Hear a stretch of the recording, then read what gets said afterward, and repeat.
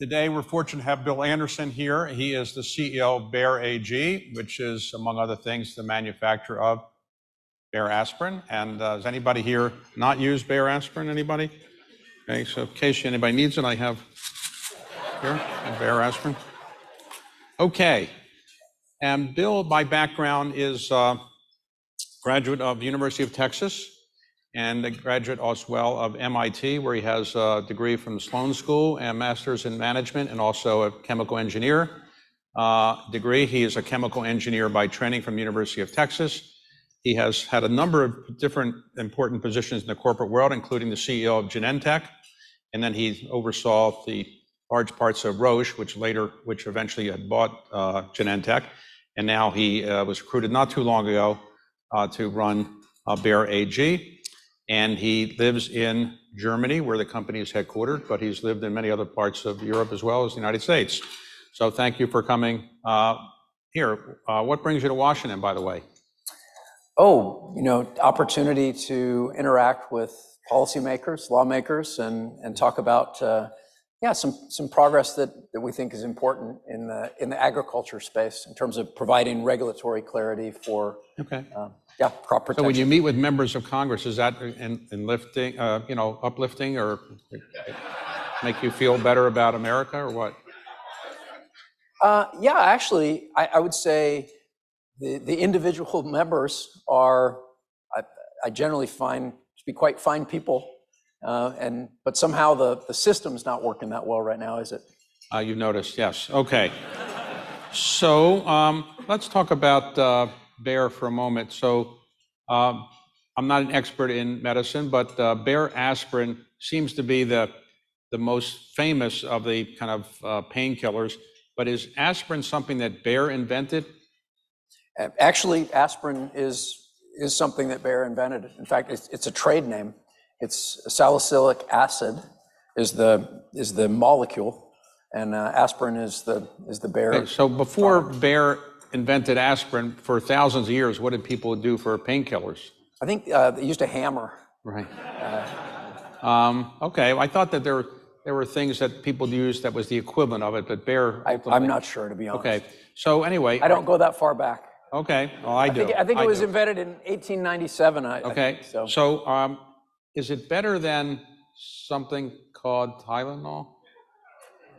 Uh, you know, it's very difficult to compare medicines, of, especially of different categories or different classes. Uh, I I had a little uh, mishap a few years ago, and I ended up not on aspirin or Tylenol, but on uh, the the ingredient in America. It's called Aleve.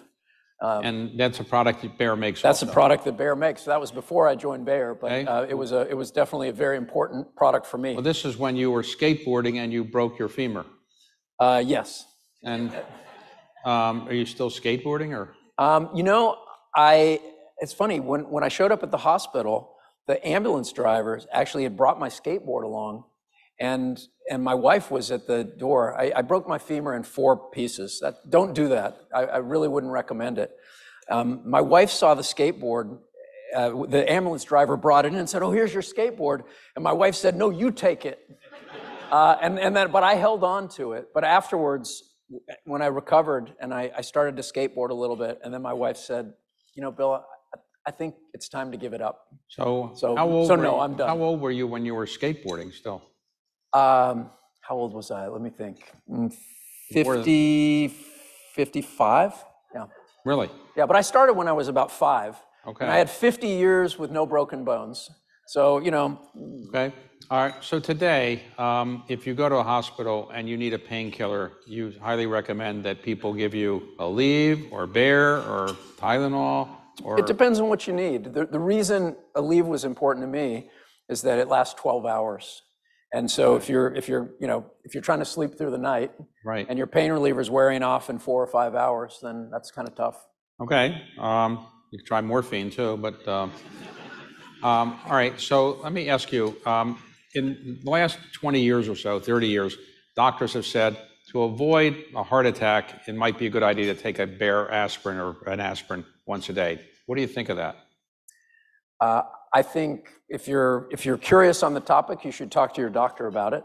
I'm, I am a chemical engineer, but I'm not a doctor. Okay. What I, what I do know is, what, it's, it's, uh, it's known to prevent secondary events of a, a second heart attack, a second ischemic stroke. And, um, and so that's, that's where it's used the most. Okay, so um, today, um, you manufacture Bayer uh, aspirin under, as part of the consumer division that your company has. Are three divisions: consumer, pharmaceutical, and you'll call crop science, let's say. Let's go through each of them. In consumer, what is it that you have as a product other than Bayer aspirin? Well, there's too many brands to name, but some that you would know of, uh, things like Alka-Seltzer. Um, some of you might have used that occasionally uh, in, the, in the morning in particular, uh, but other things like Aleve, Midol, Claritin for allergies. We have a, new, a new non-steroidal antihistamine that is, um, or sorry, decongestant that, that's called Astepro. Um, and then there's a bunch of others. Okay, so how many different products do you have in the consumer area?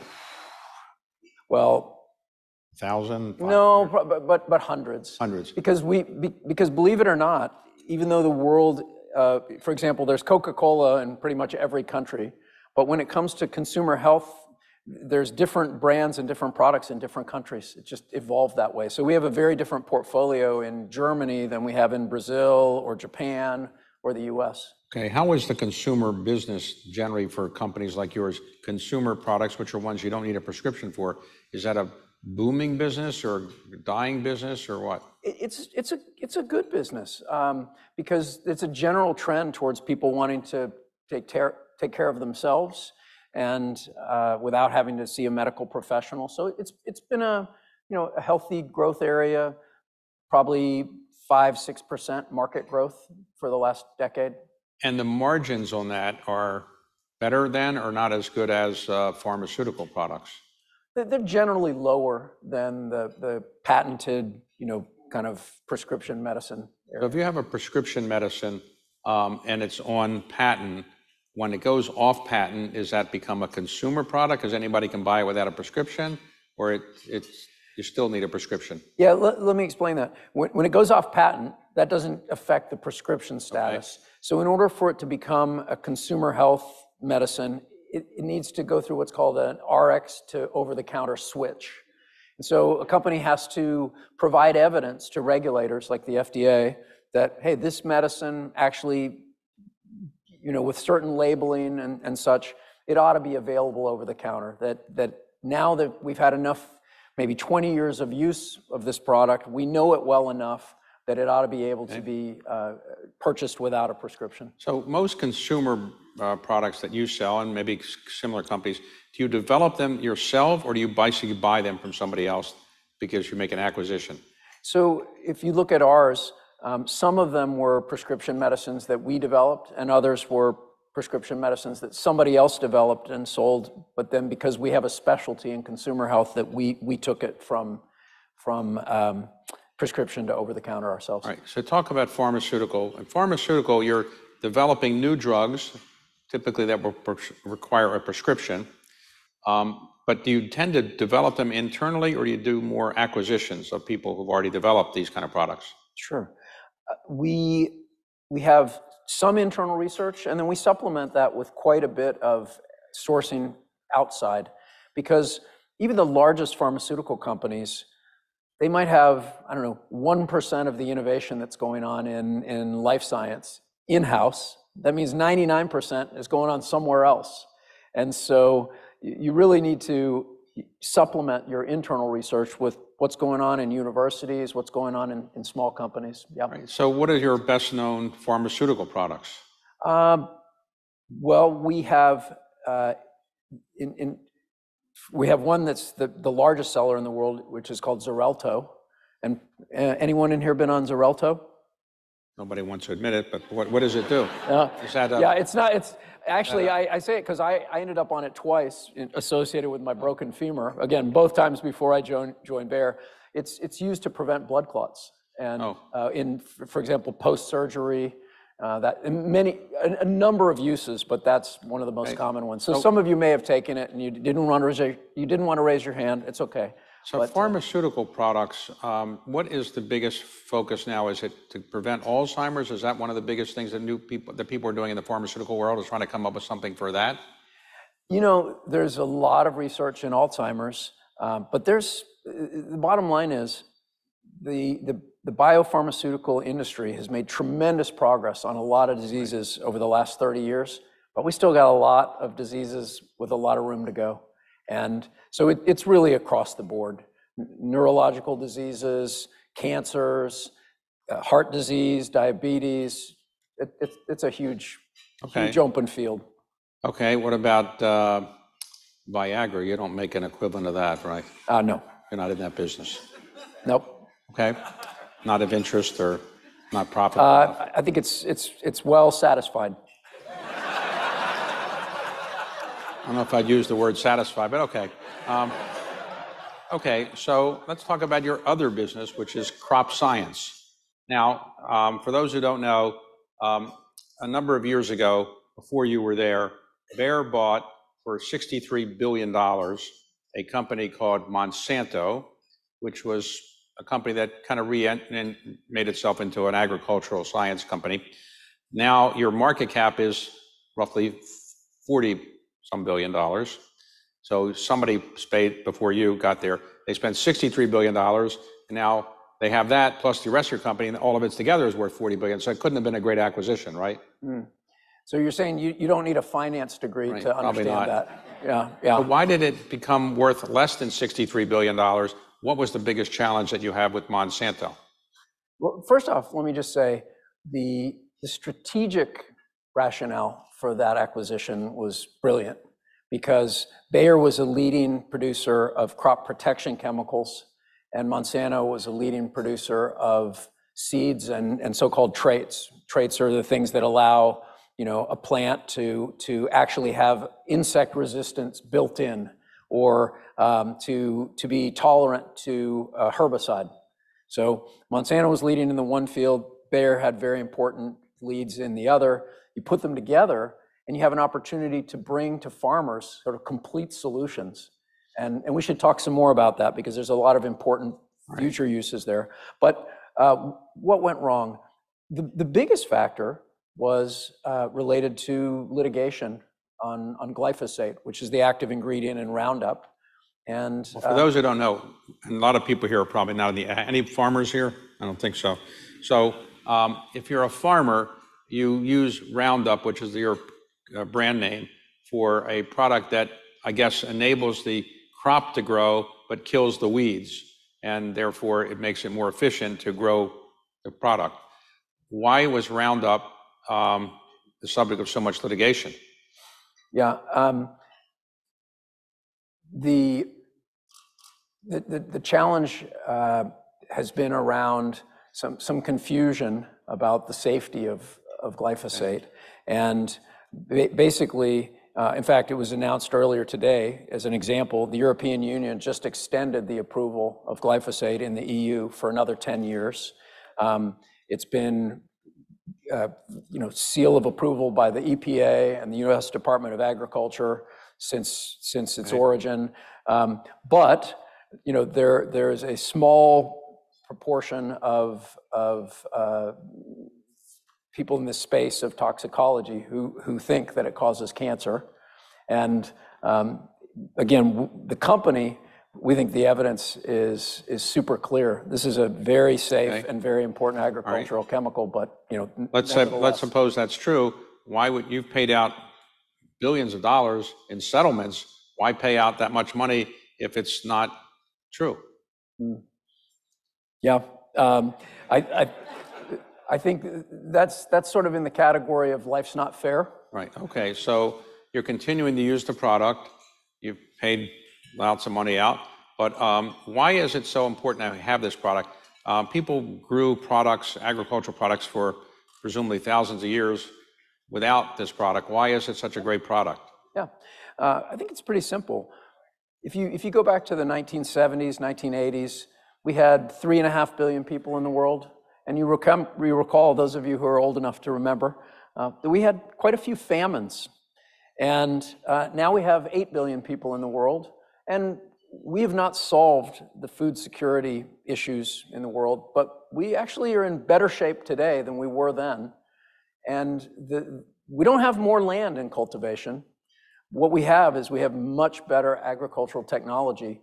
And glyphosate is probably the leading example of this, where we, you know, we were able to engineer crops to be resistant to glyphosate. And basically, you can take out the weeds and the crops thrive. And so yields go up. We can feed the world. We can provide clothing through cotton and other things for the world. And uh, and and so this is an essential product. And many of you have heard of no-till farming as an example. No-till farming is now the the standard practice in America. And that's enabled by glyphosate. You basically you can't do it on the scale we do it without glyphosate. So just to make it real, just two statistics. It's been recently estimated that without glyphosate in America, the cost of the average grocery bill for a family of four would go up by 48%. Okay? Or taking glyphosate out of agriculture in America would be the equivalent from a, from a carbon emission standpoint of putting 6.8 million additional cars on the road. Okay. So you're saying it's a good thing, even though some lawyers don't like it so much. All right. So um, right now, you had an earnings call not long ago.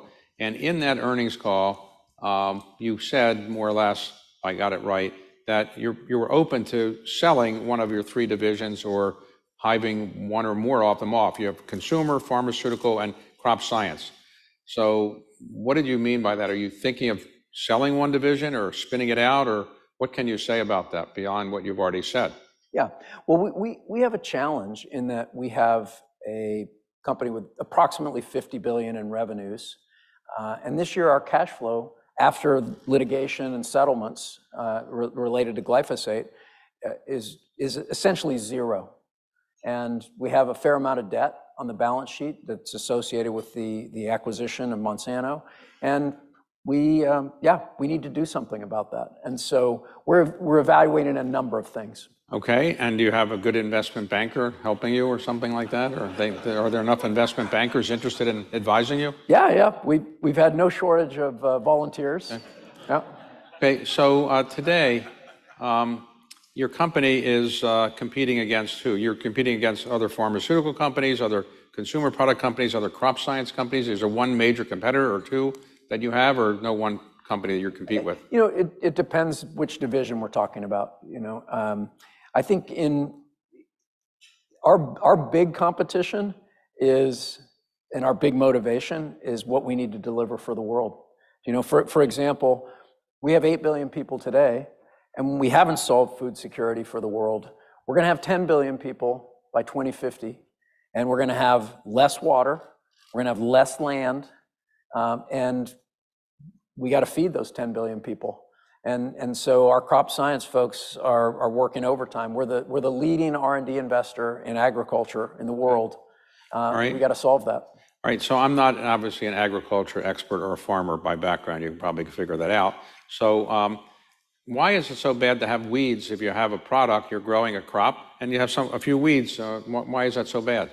Yeah. Um, Basically, weeds grow better than crops. And and if you if you don't deal with the weeds, depending on the country, you you can lose 80%-90% of your yield.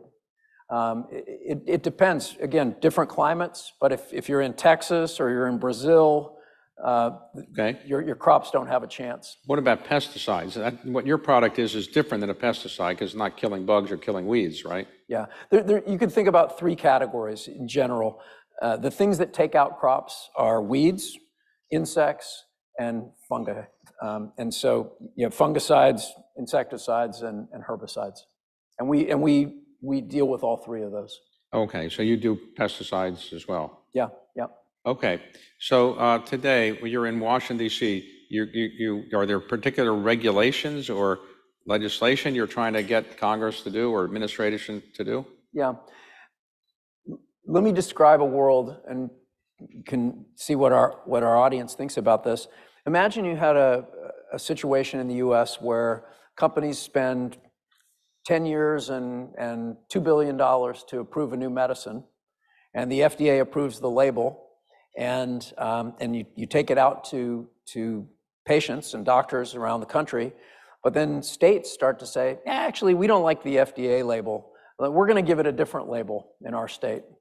And uh, you know, the FDA says it's effective for this, but Texas says no, it's not effective for that, and California says something else.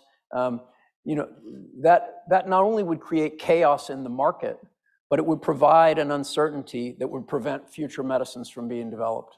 Okay, I think hopefully most of us could agree that that would be a bad system. That's the system we have today. Um, in, in the case of herbicides, In the United States. in the But What about in Europe? This is, this is a uniquely American problem. Oh, so Europe is easy to deal with? Uh, there's other challenges in Europe, Okay. but, but the idea that, you know, we have an EPA-approved label, and then, oh, we got to deal with a label from a state that says something that's not just different or, or sort of complementary, but is contradictory. Okay. All right, so you're now an American who is living in Germany. Do you speak German? Uh, it depends on who you ask. Okay. Well, how about the German executives in your company? Um, well, I'll put it this way. Before April of this year, I, I didn't speak German, and and now um, I'm I'm getting by. So Okay. yeah, So your board meetings or other things are in German, and how do you keep up with what's going on? uh, I listen. Oh, but you can understand German. Yeah, I'm I'm I'm getting pretty good at, at it's it's it's hard work. I, I had to do this early in my career. I, I learned French for a job I had in Belgium, and Okay. so I know what it takes. Uh, it's a lot of hard work, and but it, it, it pays off. So speaking of paying off, in um, the United States, the CEOs of American companies are criticized sometimes for getting such high pay compared to the lowest paid worker in the organization. Uh, That criticism isn't as leveled as much against European CEOs. So are you on the European CEO compensation model or the American CEO compensation model? Uh, I'm I'm on the European compensation model. So how would you get yourself converted to the American one? You, can you thought about moving the company to America or? I, I mean, in, in Europe, there's an idea of social cohesion that, frankly, I think that's a pretty important concept. And, um, you know, it, look, I think we all have to ask ourselves about um, what, you know, what is reasonable and in compensation. And, and I think, frankly, I think one of the reasons that, uh, that we've lost the confidence of working people in many cases is that they, you know, they, they don't sense that the system is fair. Uh, so, you know, I, I just, look, and I, I don't claim any moral high ground on this, but I just think it's a topic we all, we all ought to be thinking about. Okay, so you were president and CEO of Genentech for a while, and that was one of the first, if not the first, biotech publicly traded company. It was the first. What did they actually develop that was so revolutionary? Oh, well, there, there were a number of things that were developed before I got there that were, um, you know, the, probably the biggest breakthroughs were, were three big cancer medicines that had huge effect in uh, lymphoma, in breast cancer, and then one called Avastin that, that covered a number of different types of tumors. And, then more recently, while I was there, we developed the leading therapy for multiple sclerosis, leading therapy for hemophilia A, um, leading therapy for uh, spinal muscular atrophy, some, some uh, really serious diseases. Okay, and so um, you ran that company, and then you, was it you that decided to sell it to um, Roche? No, that, that, that happened bu- before I was CEO. Okay, Yeah. so you were, you were the head of Genentech, they sold, they'd already sold it to Roche. Yeah. And then you, but you moved to Switzerland to, I did, I did. and what was that like? Uh, you know, it was very, very important learning experience.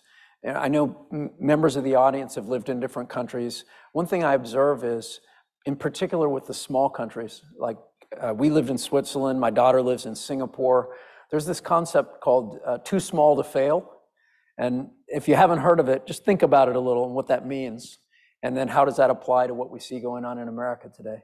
You know, people in a country like Switzerland, uh, they've been surrounded by often hostile nations for their, their whole history, for 400 years. people in Switzerland don't get up in the morning and think there'll always be a Switzerland.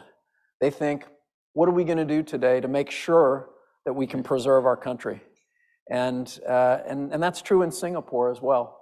And, and these countries, the smaller countries, they, they, they put what's good for the country first. And then, you know, of course, there's differences of opinion about how to best accomplish various goals. But, um, but they have learned the discipline of putting the country first. And you don't, do you think our members of Congress do that too? I, you know, I, I used to blame politicians, okay? But then I realized, hey, this is a democracy. You know, it's kind of hypocritical to blame politicians if you're in a democracy and things aren't going well. It's not the politician's fault. It's the fault of the voters or the? Well, you know, we, we all make decisions every day. And I, I would say, for me, the, the most significant one, uh, this, this was, I think Solzhenitsyn said, the line between good and evil doesn't run between you and me. It runs right through the middle of each of us. And I think if, if we have a political situation where the other side is the enemy, or the other side is evil, or the other side is beyond the pale, Right. that's totally toxic. And that's not what America was based on. And, you know, I think the people of America are going to have to wake up to this. So, uh, are, you've had a very distinguished corporate career, and hopefully, if you can solve the Roundup problem, you'll have an even more distinguished corporate career. But have you ever thought about doing something really helpful to the country by going into government or public service? You know, it's funny. I I have a really bad track record at thinking about what I'm of, thinking what I'm going to be doing in the future. You know, for example, a year ago, I had no inkling that I would be living in Germany, um, speaking German, uh, you know, working in in crop science, Right. uh, and so I, I yeah, I, I try to I try to make the most of each day, and and uh, So, you, when you called your wife and said, We're moving to Germany, what did she say? hmm, uh, it was it was very quiet for a while. No, my my wife is amazing. I mean, we we've we've moved 13 times. We've lived in this is our sixth country. We've raised three kids in that, and um, she's yeah, she's total rock star. And and uh, and she said, you know, basically what I said. We we didn't have a good excuse not to go. We thought, hey, this is an opportunity to to partner with hundred thousand great men and women that are that are doing an important mission, and how could we not do that? And the fact that it's an inconvenience to move and all that, um, you know, that's that's kind of a lame for us. That would be an, a lame excuse. We said we got to do it.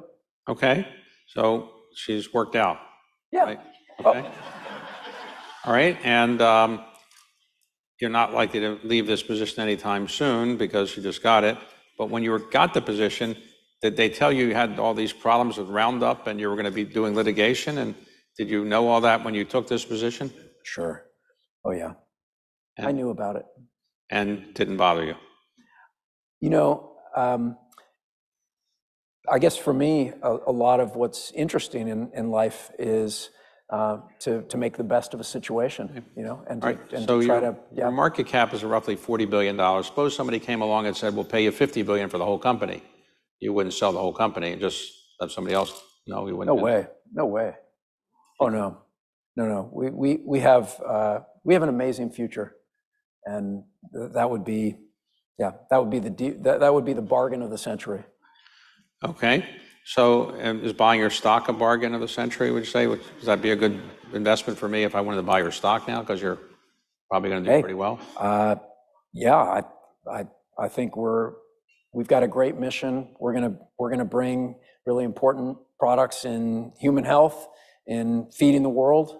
Uh, we, we've got things going on that are amazing in terms of uh, carbon sequestration in the fields, to short stature corn to increase yields and to decrease water use. We're, we're looking at renewable aviation fuels out of, out of uh, crop seeds that can be grown between other crops.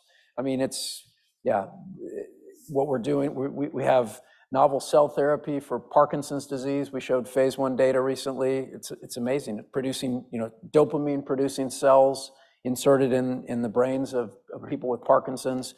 Uh, we're just getting started. 160 years young. Okay, so um, as you now you're part of a European company, is it easier to be part of a European company when you're going around the world than to be a part of an American company? Because America has maybe a few more enemies than Europe has, or does it make a difference? I don't think it makes such a difference. I think the you know what what what is a European company? What is an American company? You know we have we have 20,000 employees in America. We have a lot of our most important R&D is happening in America. Um, I've worked for American companies, uh, been based in Europe working for an American company. I've been in America working for a European company. Uh, yeah, it's it's. Doesn't make a difference. I don't think it makes much difference. Okay, and so as being a corporate CEO, how much time are you on the road traveling now? Um, I don't know, thirty percent.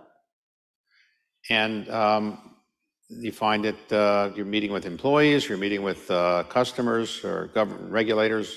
Who are you mostly meeting with? That group, uh, I, I have to say, I don't. I don't view my role as mostly being out there, kind of pressing the flesh, you know, Right. meeting customers and things. I need to stay informed, but um, my role is is to help the company be more effective. And if I'm flying around the world all the time, I'm not really helping the company be more effective. You know, uh, it, it, it's much more working with with leaders across the company on how do you how do you take out the bureaucracy and unleash the power of the people doing the work. Okay. So when you uh, think about the message you want to convey to people, what is it about your company? You want to convey to people that Bayer AG has been around 149 years, or that it's uh, got a problem with Roundup, but it's not that big a problem. What is the main message you want to convey to people? Uh, I, I think I, I would say two things. That first, this is a very important company for the future of, um, yeah, uh, being able to feed the world and do it in a more sustainable way, bringing important cures for significant diseases and helping people kind of take care of their own healthcare needs. But it's also a company that is going to be, we hope, a, case study in uh, really streamlining the, work of, a 100,000 person organization, getting, because big companies, and I've worked for a number of large companies, tend to be slow. And, uh, and that's, that's a problem. And, and frankly, it's a, it's a problem for customers, but it's a problem for employees as, you know, who wants to work, by the way, our, our, our kids, they don't want to go to work for big, slow, bureaucratic companies with 10 layers. You know, they want to go somewhere where there's action and where people, you know, the people doing the work are making the decisions. And we're going to do that at Bayer. So how many employees do you have total? 100,000. 100,000. How many of them come to the office and actually work out of the office? Uh, well, of course, we have lots of people that are in the field. You know, when you're when you're selling uh, to farmers and you're you're servicing farmers, you have lots of people that are basically out on the farm. Uh, so, of the people who are office based, I, I think probably people are spending three or four days a week in the office. And what do you do about um, um, ESG and climate change? Is your company trying to do something to reduce your carbon footprint? Um, absolutely, we're doing the same kinds of things that other companies are doing in terms of, uh, yeah, trying to be more energy efficient, that sort of thing. But way beyond that, I mean, our, impact in the agriculture space is tremendous. I mean, you understand, ag- agriculture is a major source of global warming, but it also can be a major part of the solutions. You know, take something like um, how do we do renewable aviation fuel? I mean, that's going to be an agriculture-based solution, most likely. Um, but we we need innovation there. You know, we we're probably going to need some novel oil seeds Right. to do that, and uh, and that's where Bayer comes in. So um, if you're in the agriculture business, do you like grow your own tomatoes in your backyard or just to kind of experiment with agriculture? You do any agriculture farming yourself? Uh, actually, I, I I am a, hobbyist gardener, But I, but I'm, I hate to say it, I don't grow a lot of vegetables, more, more uh, tree, you know, tree fruits and things like that. All right, so you're not going to branch out into the other areas in your farming? Uh, pro- probably don't have time for it. Okay, so today, um, your, um, would say your biggest challenge as a company is to grow the market value and have people just not pay as much attention to the crop science litigation problems? Is that what you say your biggest challenge is?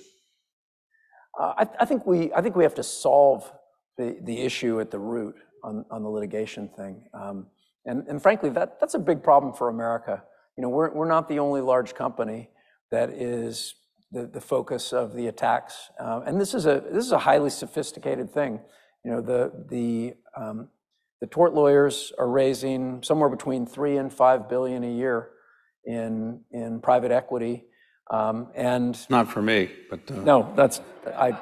But you know, th- this is this is a challenge, right? That that uh, you're saying what they do is, uh, they're, uh, they're law firms that basically raise money from investors designed to fund the lawsuit expenses, and they get a cut of the uh, recovery, more or less, right? Yeah, and, and for example, you don't have to win every case if you're in that business. You just need to win the occasional case and get, you know, some astronomical jury award, and then that's enough to bring big companies to their knees. And um, you know, this is a uniquely American phenomenon, and it's going to be a problem for American industry. This And, is, uh, this is you- not going away. You typically settle these cases, or do you take them to a jury? Uh, it's it's complicated, and I, I won't get into our legal strategy, but uh, yeah. All right, so you don't have this problem in Europe, or you don't have this problem in Asia in terms of this kind of litigation? Doesn't exist there so So, much? so other countries have product liability uh, law, but the, the uniquely American part is, is really the scale of things and the, and the size of the awards and, um, and just what that, what that does in terms of fueling an industry. Okay, so um, this doesn't discourage you from wanting to sell more products in the US because it's such a big market, I assume you just have to live with the cost of doing it. Well, I, I think it is a, a barrier to future innovation.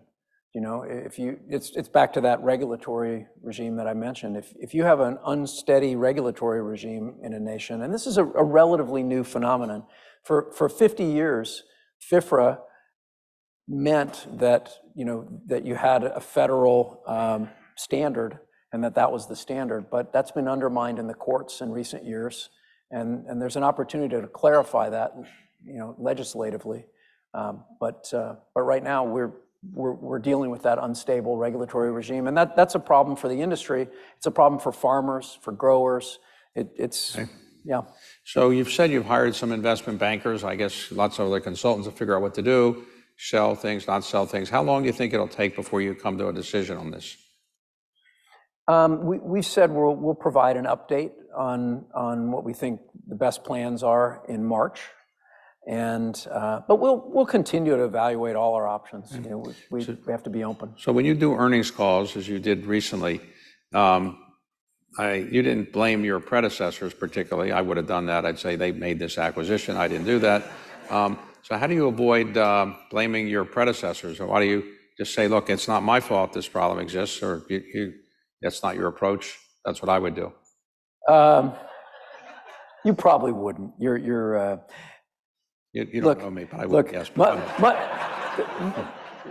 Monday morning quarterbacking is not a positive term. Really? You know, it's, it's, it's always easy to say, well, I wouldn't have done that, but you don't really know if you would have done that because you weren't there. And, and so I, I, I don't, I don't get into that business. I, I deal with, you know, what, what are the facts, the situation before us today, and, and how do we, you know, make the best of that? So um, on consumer products, I don't know you're that familiar with the U.S. drugstores, but if you go into a U.S. drugstore today, everything is under lock and key. Um, I don't know whether Bayer aspirin is, but virtually everything else. Is that a problem in, terms of selling things now? And is this a problem in other countries where you have everything under lock and key and you got to go get somebody to open a thing for you can buy a razor blade?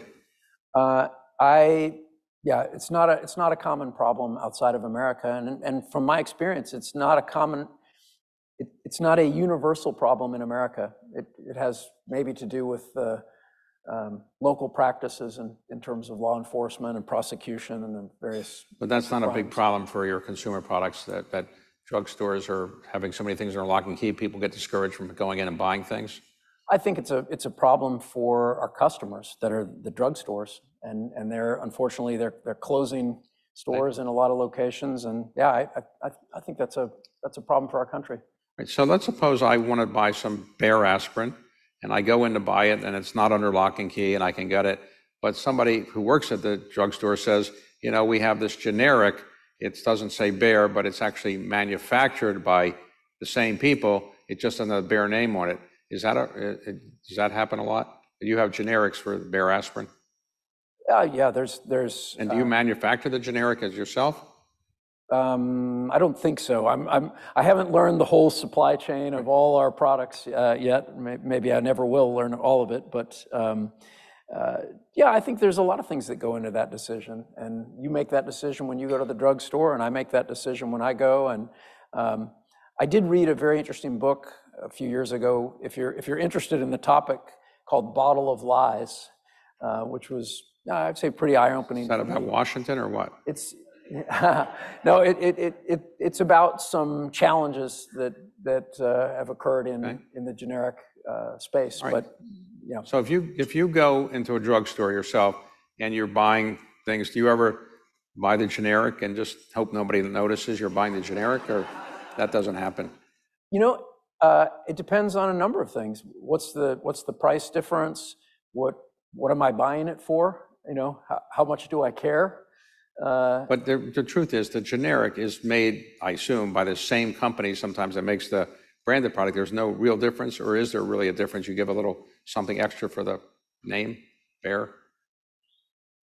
the again there's a, many types of medicines there's biologics there's chemicals um, there's different formulations so so for example sometimes the the the reason you're buying a particular medicine isn't because of the active ingredient but because you have some sort of time release formulation Right.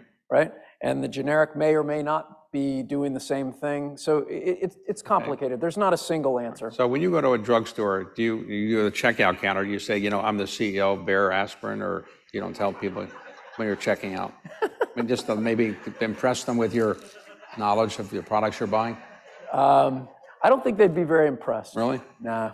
Even in Germany, they wouldn't be impressed? You're the head of Bayer AG? Okay. Oh, I, don't- I don't know. I would be impressed, but okay. All right, so you're glad you took this job, right? oh, yeah. And you're glad you agreed to this interview, right? Uh, I, I have to think about that. Uh, Okay. So, um, well, look, this is, uh, look, the truth is you, you got a difficult problem, obviously, you know, you knew this before you took over the company. Um, I wish you the best in doing it. It's not easy because of the litigation problems, but uh, company uh, does make some really good products, and this is, I guess, one of the very good ones. This is low dose. The low dose is safety coated aspirin regimen. So why do I need a safety coated one? Why not just I mean, if it's not safety-coated, is it unsafe or what? I think you'll have to ask your doctor. Oh, okay. Well, okay. Um, All right, so it's low dose, so low dose is better than high dose, I guess, right? Depends depends on what you're taking Ask your for. doctor, all right. Yep. All right, well, I'm going to go back and ask my doctor, I don't know if I'm going to return this and get the generic, maybe, I don't know. But, um, see, um, but I appreciate your coming all the way from Germany uh, to uh, listen to us, and uh, you're going to be meeting some members of Congress today, and um, you're going to tell them that they should, do you give away free samples of Bayer aspirin, you're not allowed to do that, the members? Uh, generally, that yeah, I don't think They don't do do that, that. yeah, okay. All right, so let me give you a gift. I want to thank you for your conversation, and let me give you a little gift here. Okay, this is a map of the District of Columbia. Thank you very much. Goes right there. Ah.